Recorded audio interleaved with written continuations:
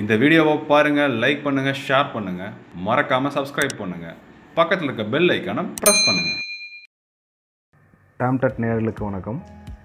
இன்றைக்கி நாம் பார்க்க போகிற இந்த வீடியோ டைம்லைன் செட்டிங் ஒரு சீக்வன்ஸ் எப்படி கிரியேட் பண்ணுறது இந்த சீக்வன்ஸ் க்ரியேட் பண்ணதுக்கப்புறம் எப்படி கிளிப் அந்த சீக்வன்ஸ்குள்ளே எடுத்துகிட்டு வர்றது அப்படிங்கிறத பார்க்க போகிறோம் லாஸ்ட்டாக பண்ண வீடியோவில் சோர்ஸ் மானிட்டர் அப்படிங்கிறது என்னென்னு பார்த்தோம்.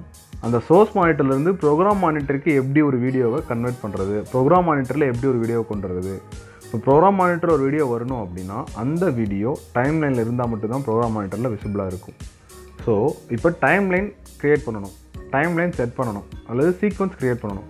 இப்போது நமக்கு கிளிப்ஸை இம்போர்ட் பண்ணதுக்கப்புறம் இந்த கிளிப்ஸ் எல்லாம் ப்ராஜெக்ட் ஏரியாவில் இருக்குது ப்ராஜெக்ட் ஏரியாவில் நாம் அந்த கிளிப்போட ஃப்ரேம் ரேட் என்ன அந்த கிளிப்போட ரெசல்யூஷன் என்ன எங்கே ஸ்டார்ட் ஆகுது எங்கே எண்ட் ஆகுது எல்லா விஷயமும் பார்த்துக்கலாம்.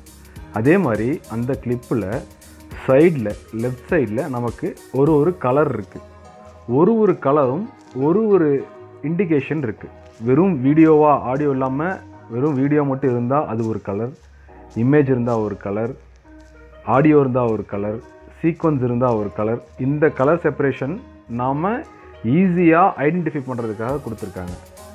அதே மாதிரி ஒரு வீடியோவோட ரெசல்யூஷன் என்ன அப்படிங்கிறத இந்த ப்ராஜெக்ட் ஏரியாவில் ஈஸியாக நம்ம ஃபைன் பண்ணிக்கலாம். ப்ராஜெக்ட் ஏரியாவில் டிஃப்ரெண்ட் டைப் ஆஃப் ஃபைல்ஸ் இருக்குது கிளிப்ஸ்லேயே different type of frame rate கொண்ட கிளிப்ஸும் இருக்குது இப்போது சீக்வன்ஸ் க்ரியேட் பண்ணுறது மூணு மெத்தடில் பண்ணலாம். The first method drag and drop method கிளிப்பை ப்ராஜெக்ட் ஏரியாவிலிருந்து ட்ராக் பண்ணிட்டு வந்து டைம் லைனில் விட்டோம் அப்படின்னா நமக்கு சீக்வன்ஸ் க்ரியேட் ஆகிடும் இந்த சீக்வன்ஸில் வி ஒன் ஏ ஒன் அப்படிங்கிறது video one audio one clip one வேறு ஃப்ரேம் ரேட்டில் இருக்குது கிளிப் டூ வேறு ஃப்ரேம் ரேட்டில் இருக்குது ஃபஸ்ட்டு என்ன கிளிப் செலக்ட் பண்ணுறோம் அப்படிங்கிறத பொறுத்து தான் நம்ம சீக்வன்ஸ் க்ரியேட் ஆகும். இப்போது நாம் செட் பண்ண இந்த சீக்வன்ஸ் கரெக்டான செட்டிங்கில் இருக்கா அப்படிங்கிறத எப்படி செக் பண்ணலாம் அப்படின்னா அந்த சீக்வன்ஸை கிளிக் பண்ணிவிட்டு மேலே நமக்கு ஃபைல் எடிட் கிளிப் பக்கத்தில் சீக்வன்ஸ் அப்படின்னு சொல்லி ஒரு ஆப்ஷன் இருக்கும். அந்த சீக்வன்ஸில் சீக்வன்ஸ் செட்டிங்ஸ்க்குள்ளே போனோம் அப்படின்னம்னா நமக்கு இந்த சீக்வன்ஸோட எல்லா ப்ராப்பர்ட்டிஸும் காட்டும். அந்த சீக்வன்ஸ் என்ன என்ன ஃப்ரேம் ரேட்டில் இருக்குது என்ன ரெசல்யூஷன் இருக்குது எல்லா ஃபார்மேட்டும் காட்டும். சீக்வன்ஸில் ரைட் கிளிக் பண்ணால் ப்ராப்பர்ட்டிஸ்னு இருக்கும். அந்த ப்ராப்பர்ட்டி செலக்ட் பண்ணோம் அப்படின்னா அதில் ஃப்ரேம் ரேட் எவ்வளோ எவ்வளோ ரெசல்யூஷன் எல்லாமே நமக்கு டீட்டெயில் இருக்கும். இப்போது நம்ம சீக்வன்ஸ் ஒரு ஃப்ரேம் ரேட்லேயும் நம்ம கிளிப்பு வேறு ஃப்ரேம் ரேட்லேயும் இருக்கும்போது நமக்கு இந்த மாதிரி ஒரு மெசேஜ் ஓப்பன் ஆகும். அதாவது கிளிப்போட ஃப்ரேம் ரேட்டும் செட்டிங்கும் சீக்வன்ஸ் செட்டிங்கும் வேறு வேறையாக இருக்குது என்ன பண்ணலாம்? அப்படியே இருக்கட்டுமா? அல்லது சேஞ்ச் பண்ணணுமா? அப்படிங்கிற மாதிரி மெசேஜ் ஓப்பன் ஆகும். செட் பண்ண செட்டிங் கரெக்டான செட்டிங் அப்படின்னு நமக்கு இருந்தது அப்படின்னா கீப் எக்ஸிஸ்டிங் செட்டிங் கொடுத்துடணும்.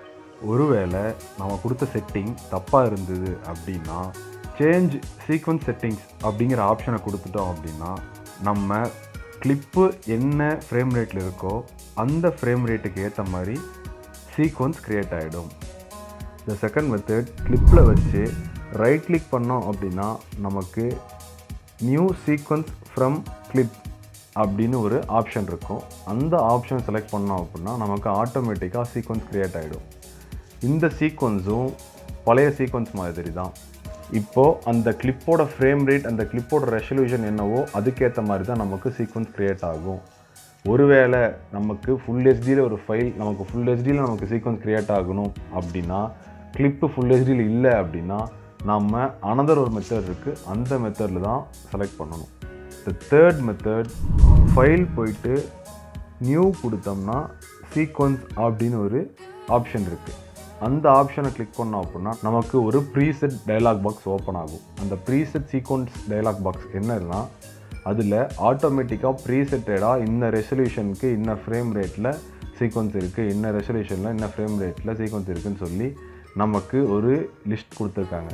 நாம் என்ன தேவையோ நமக்கு என்ன தேவையோ ஃபுல் ஹெச்டினா ஃபுல் ஹெச்டி ஆஃப் ஹெச்டினா ஹாஃப் ஹெச்டி மொபைல்க்கா டேப்லெட்க்கா பிசிக்கா யூடியூப்க்கா விமோக்கா என்ன மாதிரி செட்டிங் நமக்கு வேணுமோ அந்த செட்டிங்கை கொடுத்துட்டு ஓகே அதாவது நம்ம கொடுக்குறதுக்கு முன்னாடி ஃப்ரேம் ரேட்டும் ரெசல்யூஷனும் கரெக்டாக இருக்கா? கரெக்டான ரெஜிஸ்ட்ரேஷனாக கொடுக்குறோமா அப்படிங்கிறதையும் செலக்ட் பண்ணிவிட்டு சீக்வன்ஸ்க்கு ரீநேம் கொடுக்கணும். சீக்வன்ஸ்க்கு ரீநேம் கொடுத்துட்டு என்ன நம்ம பண்ண போகிறோமோ அதுக்கு ரீநேம் கொடுத்துட்டு ஓகே அப்படின்னு கொடுத்தோம்னா நமக்கு சீக்வன்ஸ் க்ரியேட் ஆகிடும் இந்த சீக்வன்ஸ் க்ரியேட் ஆனதுக்கப்புறம் நமக்கு பழைய ரெண்டு மெத்தடில் பார்த்தா அதே மாதிரி தான். சீக்வன்ஸ் க்ரியேட் ஆனதுக்கப்புறம் கிளிப்பை இம்போர்ட் பண்ணுறோம் கிளிப்போட ஃப்ரேம் ரேட்டும் சீக்வன்ஸோட ஃப்ரேம் ரேட்டும் ஒரே மாதிரி இருந்தது அப்படின்னா அது அப்படியே எடுத்துக்கும். எந்த ஒரு எரர் மெசேஜோ டைலாக் பாக்ஸோ ஓப்பன் ஆகாது. ஒருவேளை கிளிப்போட ஃப்ரேம் ரேட்டும் சீக்வன்ஸோட ஃப்ரேம் ரேட்டும் வேறு வேறையாக இருந்தது அப்படின்னா இந்த செட்டிங் கொடுக்குற கிளிப்போட செட்டிங்க்கு மேட்ச் ஆகலை. என்ன பண்ணலாம் அப்படிங்கிற ஒரு டைலாக் பாக்ஸ் ஓப்பன் ஆகும். நம்ம பண்ணது கரெக்டான சீக்வன்ஸ் தான் அப்படின்னா கீப் எக்ஸிஸ்டிங் கொடுத்து நம்ம அந்த கிளிப்பை அப்படியே வச்சு எடிட் பண்ண ஆரம்பிச்சிடலாம். ஒருவேளை தெரியாமல் தப்பாக கொடுத்துட்டோம் அப்படின்னா சேஞ்ச் த சீக்வன்ஸ் செட்டிங்ஸ் இருக்குல்ல அந்த ஆப்ஷனை கொடுத்து சீக்வன்ஸை கிளிப்புக்கு ஏற்ற மாதிரி சேஞ்ச் பண்ணிக்கிட்டு எடிட் பண்ண ஆரம்பிச்சிடலாம். ப்ராஜெக்ட் ஏரியாவிலேருந்து அந்த கிளிப்பை டைம்லைன் கொண்டு வந்தாச்சு. இப்போது இந்த டைம்லைனில் எடிட் பண்ணும்போது தான் நமக்கு ப்ரோக்ராம் மானிட்டரில் தெரியும். ஸோ ப்ரோக்ராம் மானிட்டரை பற்றி அடுத்த வீடியோவில் பார்ப்போம். For more videos please subscribe to டேம்டட் மறக்காமல் பக்கத்தில் இருக்க பெல் பட்டனை ப்ரெஸ் பண்ணுங்கள் அப்போ தான் உங்களுக்கு அடுத்தடுத்த வீடியோக்கான நோட்டிஃபிகேஷன் ப்ராப்பராக வரும்.